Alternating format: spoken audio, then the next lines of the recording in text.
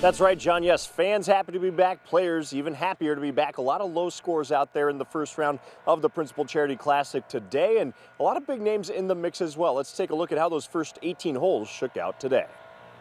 The big names teeing off just after 10 this morning. We start with Ernie Els here at 13, the par 5. Very good hole to score on. He drops the short putt for birdie, finishing at one under on the day. Bernhard Langer, who had a good track record at Wakonda, sinks this putt for birdie as well at 13. He's three back from the lead, heading into the second round at four under. Jim Furyk is in the mix as well. 13, he finds the bottom of the cup for birdie from eight feet out.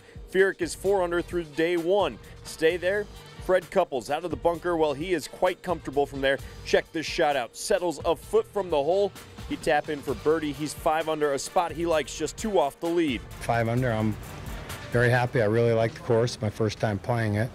Um, you know, I hit the ball in the right spot and uh, when I was in trouble, made some good pars, but it's a tricky little course. Most interesting man in golf, also having no problem out of the bunker, Miguel Angel Jimenez cozies that up to the cup. He taps in for birdie, two under for his round. Vijay Singh had a tough one out there today. He just misses the eagle on 13. Birdie two of his first four holes, but played four over the rest of the way. Rod Pampling out of Australia held the lead briefly, has a par here at eight. He finishes five under after his first round ever in the PCC. History here is zero. I haven't been here, so it's my first time here here. So, so far, it's uh, after day one, the history's good. Six players are at 500. Doug Barron is six under through 18 holes played. He pars 18 and is just looking to keep the momentum going into day two on Saturday. Round one, I mean, I'm playing good golf. I'm trying to go out and do the same thing every day. Today I got on a little roll on the front and hit some really good irons on the back.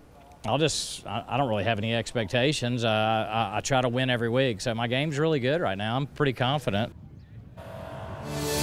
Thongchai Jaidee is the leader currently at 7 under par, and he will tee off at 11:10 tomorrow here at Principal Charity Classic at the Wakonda Club.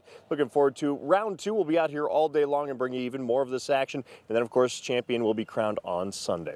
That'll do it from Principal Charity Classic round one for tonight. We'll see you at 10 here on Local 5. We'll be right back.